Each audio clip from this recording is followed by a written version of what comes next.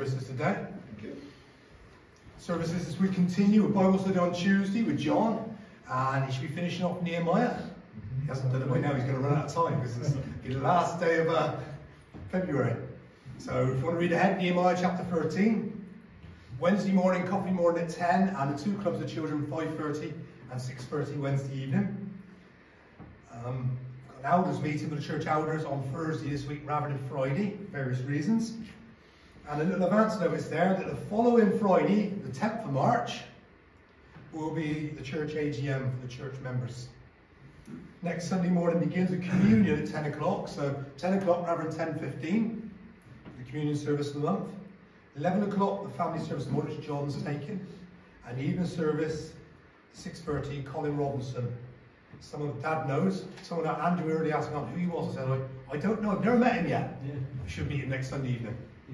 So someone new coming to preach. So let's pray for those services and the preparation for them. Also your prayers, continue to remember the Bible studies. And Dad's unable to go down sometimes. They, they have started doing them themselves, which is really encouraging to think that these men are meeting together to study God's Word so let's continue to pray for those Bible studies on a Monday in the prison. And obviously, when we look around the world, situations like Ukraine, Turkey, Syria, persecuted Christians, countries like Nigeria, we realise our world needs our prayers, doesn't it?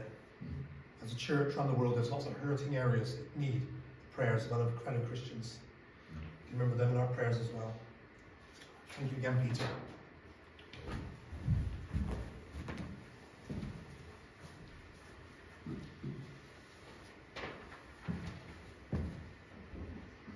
Well, it's lovely to be with you today, and I trust that God will bless us this evening. I am somewhat concerned with the doctrine of this church in finishing off Nehemiah.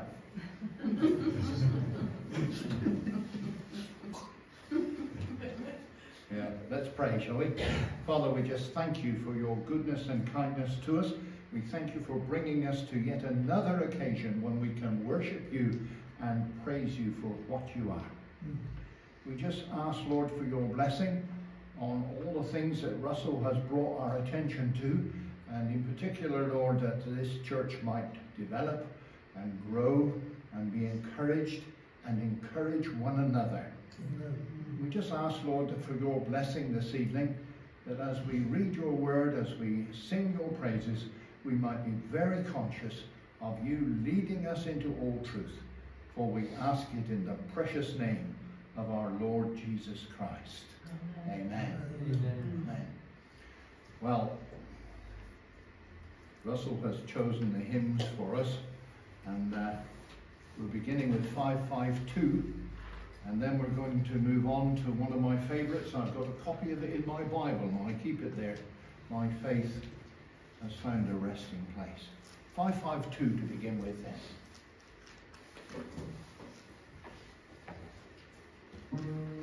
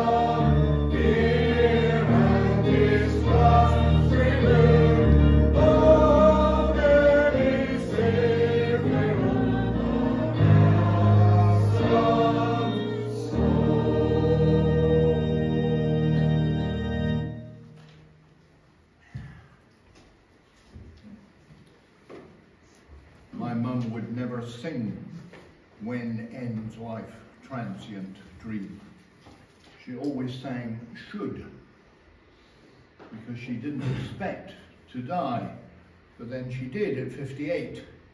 Uh, but she was ready for it, wasn't she? Let's pray together. Father, we just thank you for the assurance that we have in our Lord Jesus Christ. We want to recognize before you again, Heavenly Father, just how wonderful a Saviour He is. The fact that He was prepared to leave heaven and come to earth to be born as a babe, to live among us, to know what it was to hurt, to suffer, to know what it was to walk among the sinful world in which he walked at that time. And Lord, it just seems to have got worse and worse.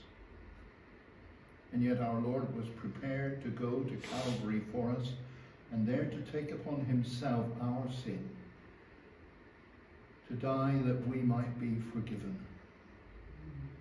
to die to open up the way for us to enter heaven. And even at that moment, as he was there upon the cross, one alongside him said, Lord, remember me.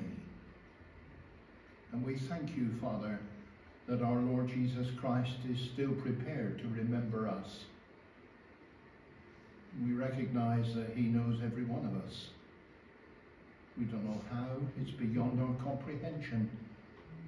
But such is his greatness, his majesty, and his power that he knows everyone who calls out to him in repentance and faith. So we come yet again to you, Father, and ask that you will bless us this evening as we think of what Jesus has done for us and what the future holds for us. And we believe that the Lord Jesus is coming again. And when he does, we pray that each one of us who's gathered here this evening, and we would include our families as well, Lord, that each one might be ready for him when he comes or he calls. For we ask this in and through his precious name. Amen. Amen. 623. 623.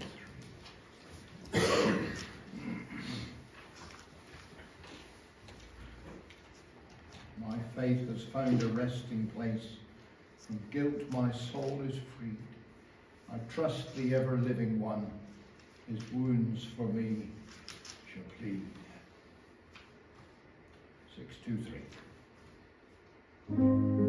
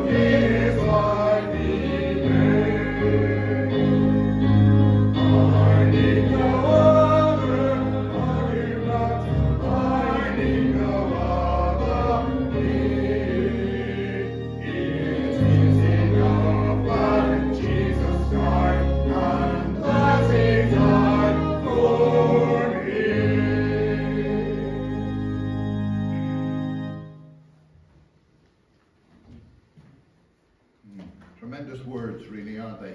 I need no other argument. I need no other plea. It is enough. Enough. That's it. It's enough that Jesus died and that he died for me. There is often a case where people think that religion, as they call it, is all right. It's all right for you. It's all right for you. I'm glad you've got that crutch to hang on to. And I've had it said to me, oh, religion's just a crutch, isn't it? Mm. But you see, it's a personal relationship with the Lord Jesus Christ that counts. And every one of us knows what it is to have a relationship with someone or another. Maybe, you know, husband, wife, maybe friend, maybe just a sibling or children or whatever. And we have relationships in all sorts of directions. But there's only one Jesus. Mm. And we can all know him. Isn't that amazing? Mm. I just think that's amazing. The fact that Jesus died for me. I'm always reminded when I'm thinking of that of a very famous preacher who was invited to go to America and uh, was to address a uh, Bible college. Uh, I forget what they call it, where they have the end of term passing out parade sort of thing, you know. And he got up to speak and he said, Jesus loves me. This I know. And the Bible tells me so. And he sat down and he left them with that. That was it. And that's probably the most important thing anyone of us can ever know, that Jesus loves me. And when I was a, a little boy, I knew what it was to ask the Lord Jesus into my heart and life, to become not just my Lord, my Saviour, but my Lord. Right? And uh, when we've been singing about this, we need no other argument in Him. He's the one who fulfills our deepest need, isn't he? Now, some of you will have thought, well, we're going to be reading from uh, Hebrews chapter 11. We will be referring to it a little later. But to begin with, we're going to look at 1 Corinthians chapter 1 uh, from verse 17. Our theme is the little thought that comes from Hebrews 11, uh, weakness turned to strength. 1 Corinthians chapter 1 and verse 17. For Christ, this is the Apostle Paul speaking, and uh, he's uh, writing about the Lord Jesus. For Christ did not send me to baptize, but to preach the gospel, not with words of human wisdom, lest the cross of Christ be emptied of its power. For the message of the cross is foolishness to those who are perishing, but to us who are being saved, it is the power of God. For it is written, I will destroy the wisdom of the wise, the intelligence of the intelligent, I will frustrate. Where is the wise man? Where is the scholar? Where is the philosopher of this age? Has not God made foolish the wisdom of the world? For since in the wisdom of God the world through its wisdom did not know him, God was pleased through the foolishness of what was preached to save those who believe. Jews demand miraculous signs, and Greeks look for wisdom.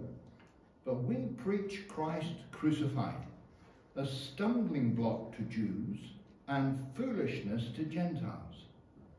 But to those whom God has called, both Jews and Greeks, Christ, the power of God and the wisdom of God. For the foolishness of God is wiser than man's wisdom, and the weakness of God is stronger than man's strength. Brothers, think of what you were when you were called. Not many of you were wise by human standards. Not many were influential. Not many were of noble birth. But God chose the foolish things of the world to shame the wise. God chose the weak things of the world to shame the strong. He chose the lowly things of this world and the despised things and the things that are not to nullify the things that are, so that no one may boast before him.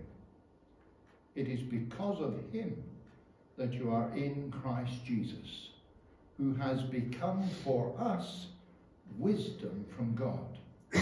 that is our righteousness, holiness, and redemption. Therefore, as it is written, let him who boasts boast in the Lord. When I came to you, brothers, I did not come with eloquence or superior wisdom as I proclaimed to you the testimony about God. For I resolved to know nothing while I was with you except Jesus Christ and him crucified. I came to you in weakness and fear and with much trembling. My message and my preaching were not with wise and persuasive words, but with a demonstration of the Spirit's power, so that your faith might not rest in men's wisdom, but on God's power. Amen? Amen. Mm. Yeah, praise the Lord. Let's sing our next hymn together then. It's uh, Oh, So You Would Come. Now, I don't know this one, Russell, so you'll have to teach me this one.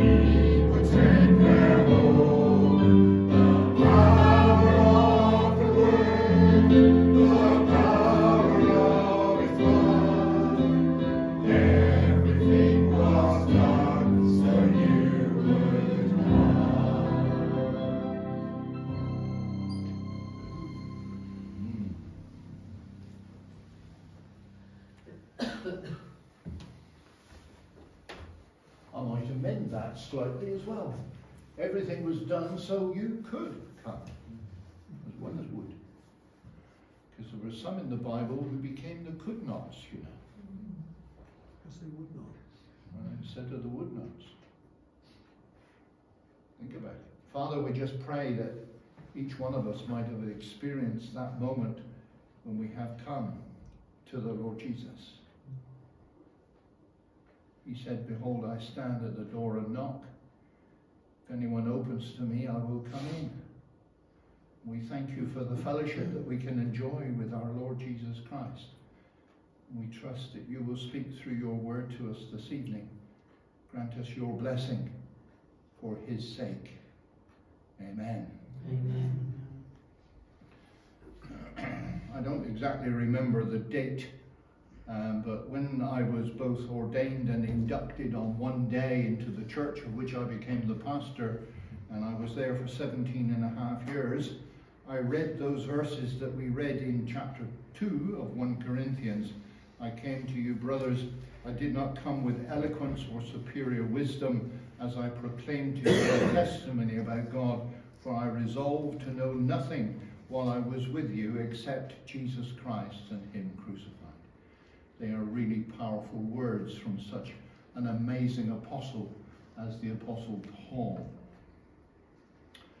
And uh, I still feel that way today, after all these, what appears to me to be donkey's years in the ministry. But I'm thankful that God has blessed and encouraged. Now I want to turn over briefly to Hebrews chapter 11 because I promised I would. And in Hebrews chapter 11, we have what is commonly known as the faith chapter. And uh, we have so many people who are named in that particular passage. And some, of course, we discovered this morning. Uh, others aren't named but are hinted at, or at least the, the deeds that they got involved in are, are uh, tabulated for us. Um, but I want just to refer again to verse 34 of Hebrews chapter 11. We're told that some of them were uh, es escaped the edge of the sword. But then, in between two semicolons, we have this little, well, that's in my Bible at least, uh, whose weakness was turned to strength. Whose weakness was turned to strength. Now, let's ask ourselves how this applies to Christian service, shall we? Most of those in Hebrews chapter 11 had uh, or had some weakness or insecurity about them. Take, for instance, Abraham. God promised him a son through whom eventually we know our Lord Jesus was born. But of course, Abraham had his doubts. I'm an old man, and Sarah, well, she's well past bearing. And yet God said, This is what I'm going to do. And that is what he did. So even Abraham had his doubts. And then Moses, probably the greatest man in the history of the people of Israel, Moses, well, he had his doubts, didn't he? He had his insecurities. And I want to take you back to Exodus chapter 3. And in Exodus chapter 3, we discover Moses out in the wilderness. He spent 40 years there, looking after his father-in-law's sheep. So he was a shepherd. Now there's an interesting thought. Have you ever gone through scripture to discover how many shepherds God used? He used dozens of them. Of course, the last sort of shepherds that are mentioned are those that came to the, uh, the stable to see the Lord Jesus. But who was the greatest shepherd? I am the shepherd of the sheep. John 10.10 10 tells us that uh, he came as a shepherd so that we might have life and have it to the full. The greatest shepherd. So God used shepherds throughout history. That's an interesting study. That's one that uh, John might do at some time or another and maybe finish them off. We never know. we never know. But sometimes as you, you look at themes as you go through the Bible, you discover some wonderful another theme for you. The Lamb. Behold the Lamb. The Lamb of God that takes away the sin of the world. You begin back in Genesis to discover lambs and go all the way through the scripture to discover. I digress because we're looking at Moses, aren't we? And Moses is shepherding the sheep of his father in law way out in the desert, miles away from anywhere, having run away because he'd killed an Egyptian, remember? And the two Israelites who were fighting, they must have passed the word on somehow or another. And, and Moses thought he was going to be okay. And then suddenly somebody said, But who, who are you? You've killed somebody. And so Moses is a murderer. And yet God used him. Transformation took place in Moses' life when God met him.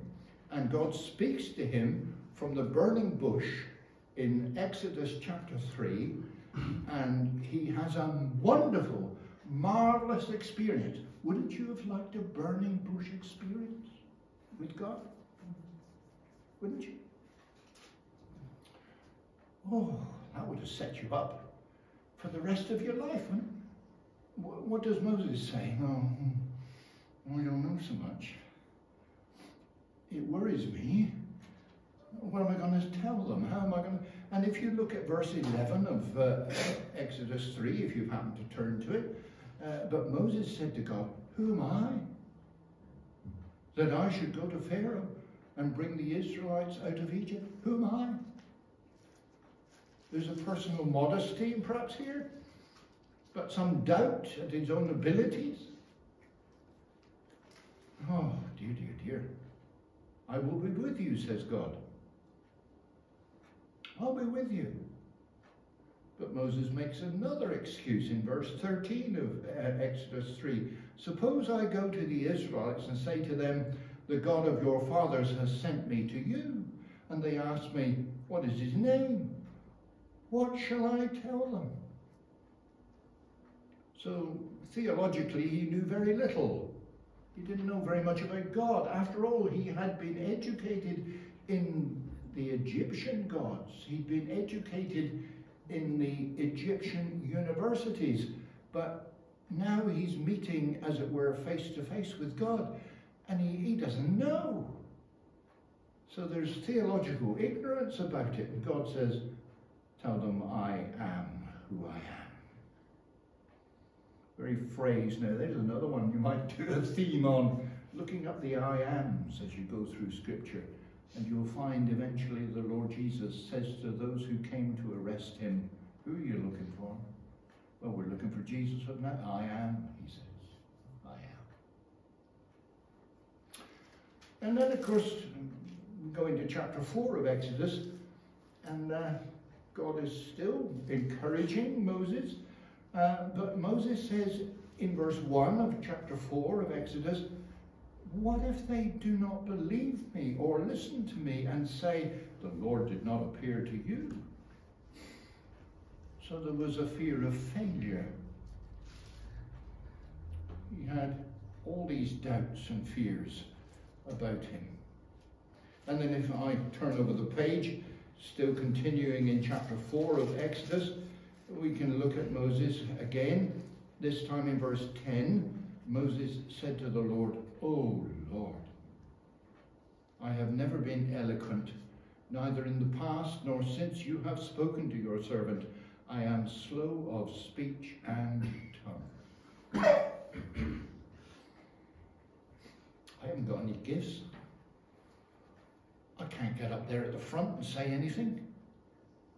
I can't do it. And so Moses was worried about those lack of gifts. And God says to him, Who gave man his mouth? Who makes him deaf or dumb? Who gives him sight or makes him blind? Is it not I, the Lord?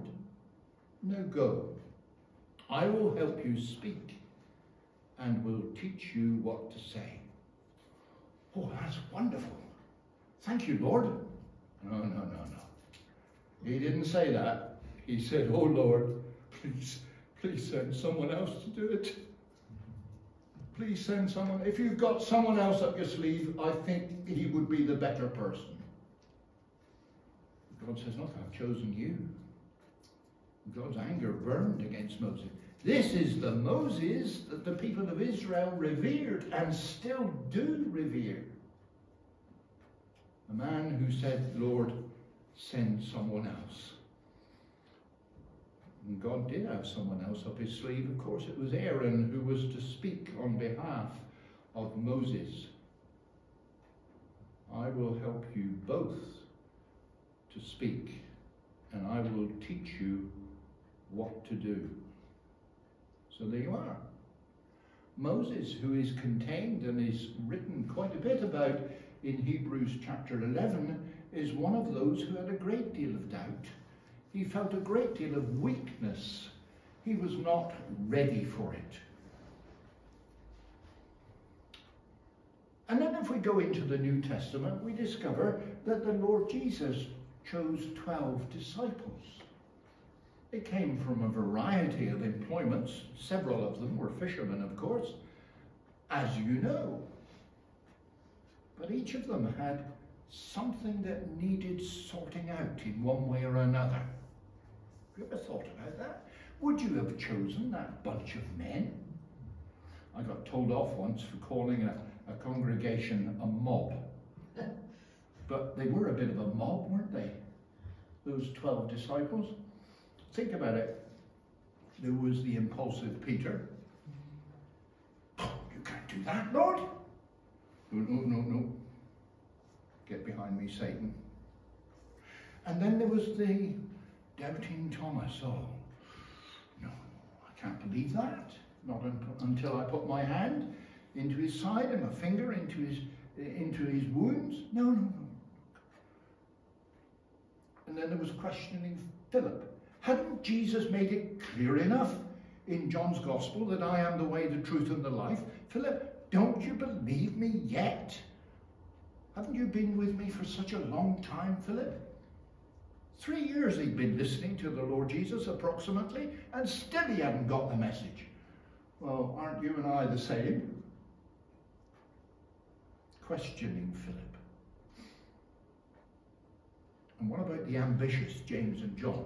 Or maybe their mother was ambitious for them.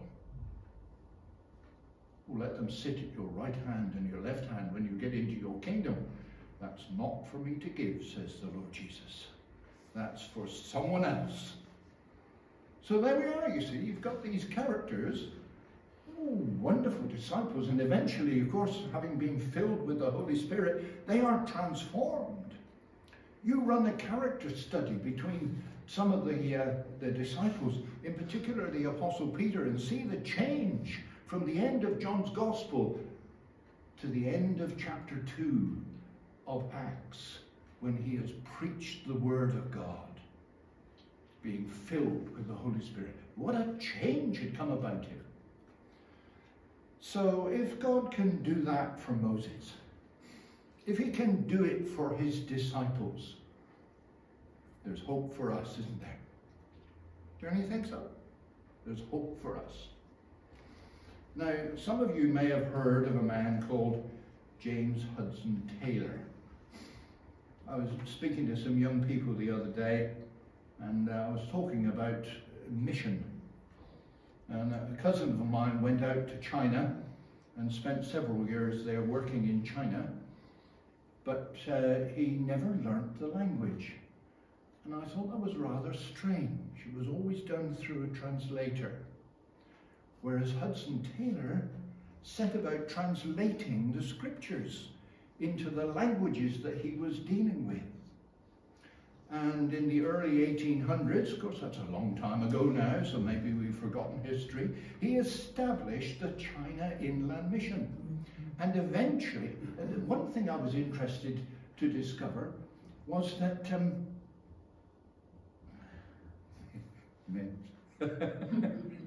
We've been talking about trying to remember names today. Um, Muller, George Muller, financially supported the China Inland Mission. That's a link. Two people you've got to look up George Muller and Hudson Taylor. And eventually they had over 200 missionaries working in inland China in that day. Many of them died, particularly during the Boxer Rebellion. But this is what Hudson Taylor wrote.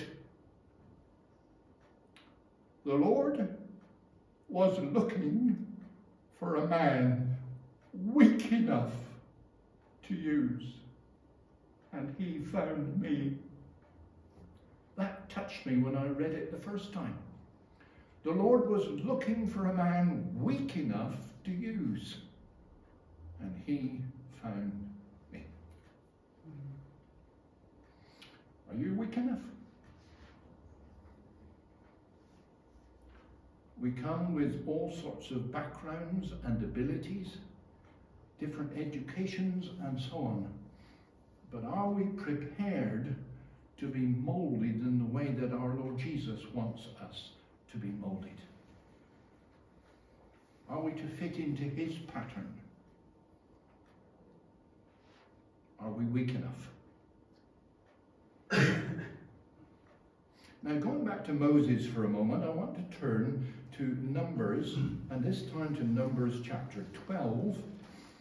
And here in Numbers chapter 12, poor old Moses faces a rebellion. Now, quite often, pastors face rebellions in churches. I've known a number of my colleagues in the past who've had difficulties within their churches, but this is not anything to do with the church this is his family. Miriam, that's his sister, and Aaron began to talk against Moses because of his Cushite wife, for he had married a Cushite. And their egos come to the fore here. Has the Lord spoken only through Moses? Hasn't he also spoken through us? And the Lord heard this. It's so easy within families to have problems and have difficulties because of ego. I'm better than him or her. I'm better educated. I can do this, I can do that, I can do the other. No, God doesn't want that. I want you to notice in uh, Numbers chapter 12 and verse 3. Now Moses was a very humble man, more humble than anyone else on the face of the earth. Isn't that an amazing testimony? The humility of Moses is recorded in Scripture. Something else I want to draw your attention to is this. God then says, Listen to my words. When a prophet of the Lord is among you, I reveal myself to him in visions. I speak to him in dreams. But this is not true of my servant Moses. He is faithful in all my house. With him I speak face to face clearly and not in riddles. He sees the form of the Lord. Why then were you not afraid to speak against my servant Moses? With him I speak face to face. So when the Lord Jesus took those apostles up onto the Mount of Transfiguration, and there appeared Moses and Elijah, it was not the first time that Moses had seen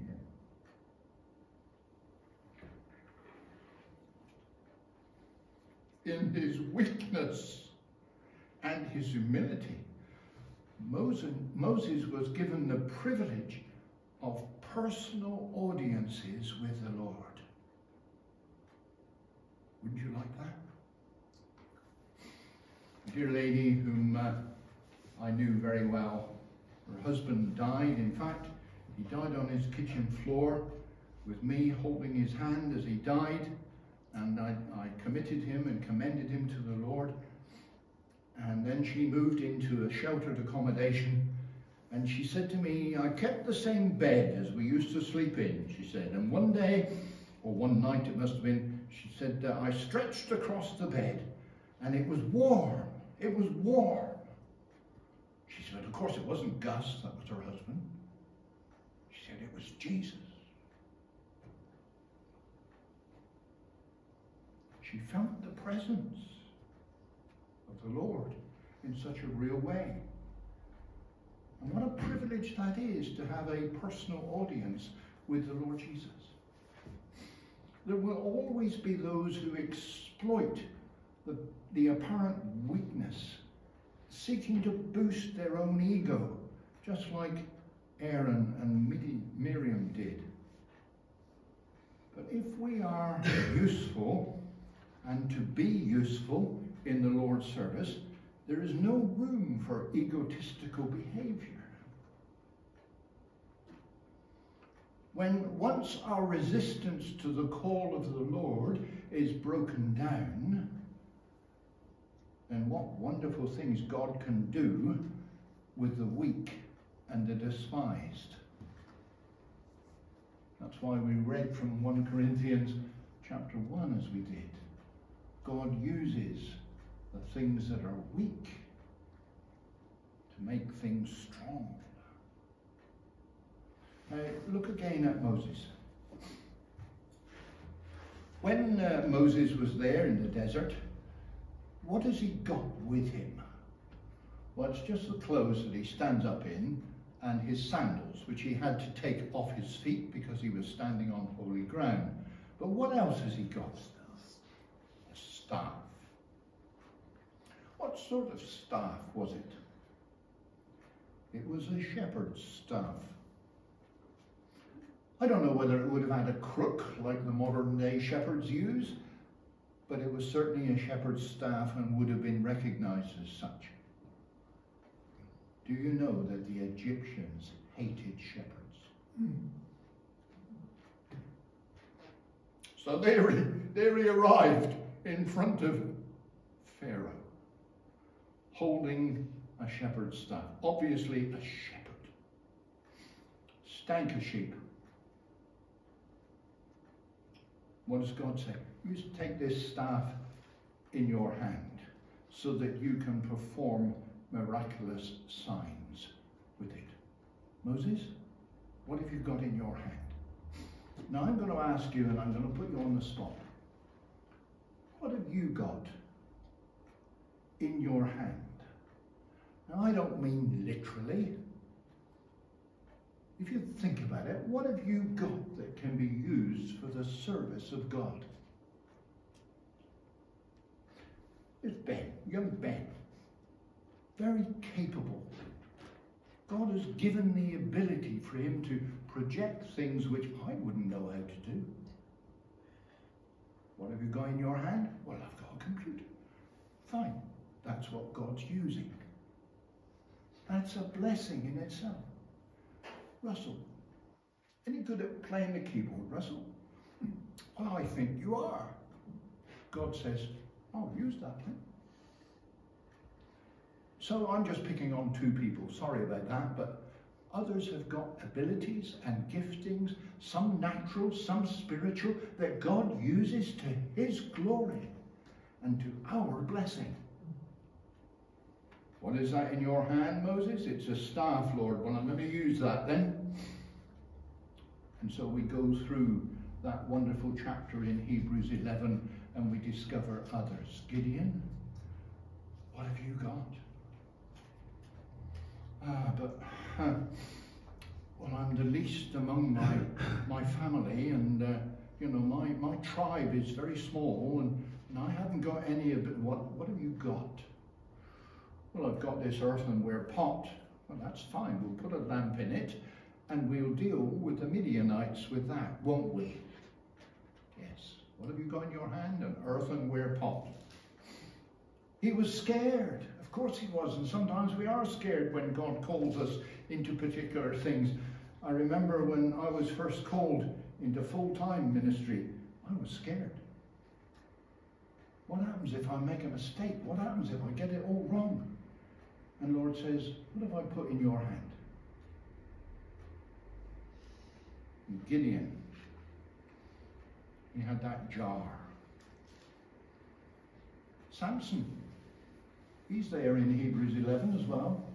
Samson, what have you got? Well, all I've got left is this donkey's jawbone.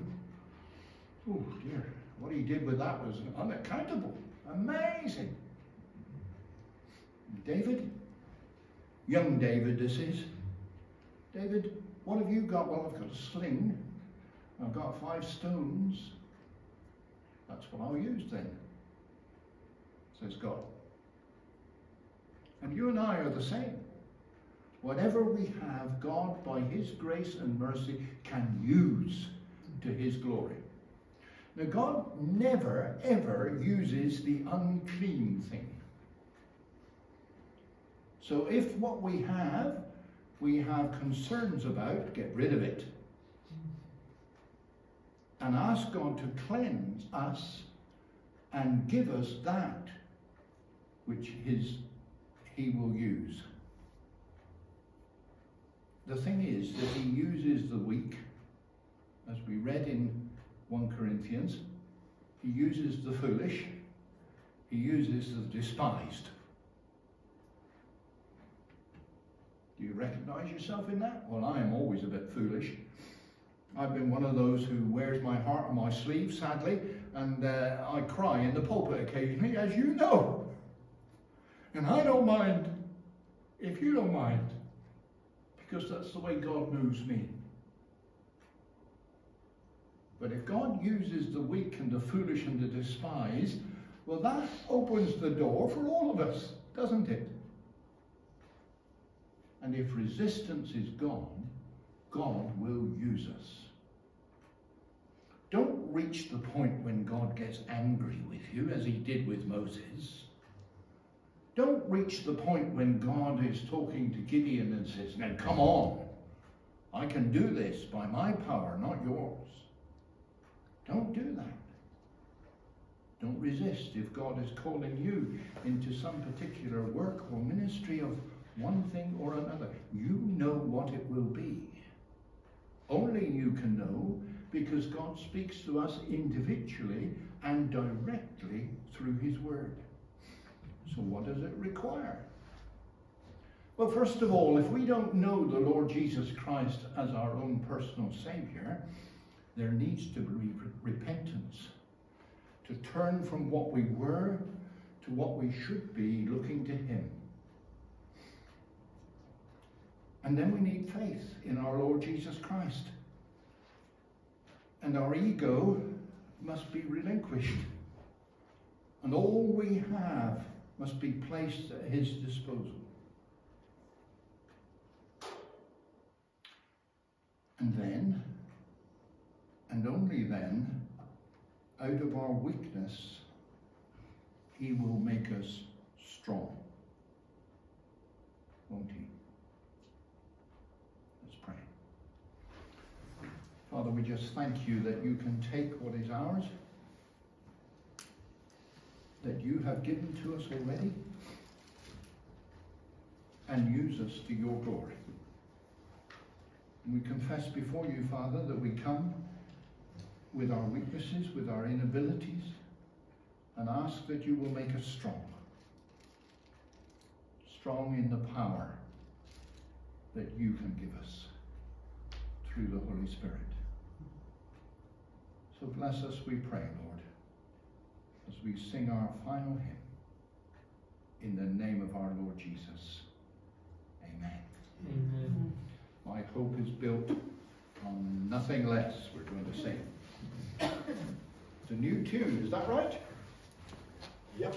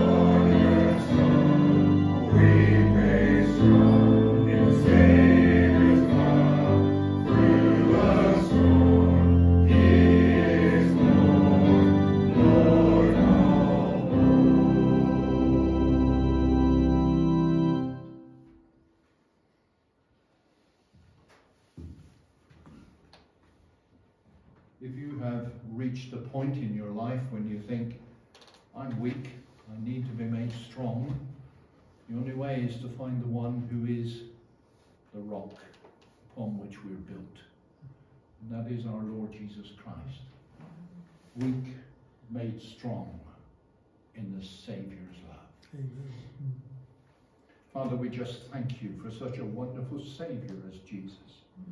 And we ask that each one of us might have experienced his presence, his power, so that one day we might see him face to face as he takes us to be with him. Grant this, we ask, and also that we might know your peace, the fellowship of the Holy Spirit, and your presence, Lord, day by day, as you have promised. For we ask it in your name. Amen. Amen. Amen. thank you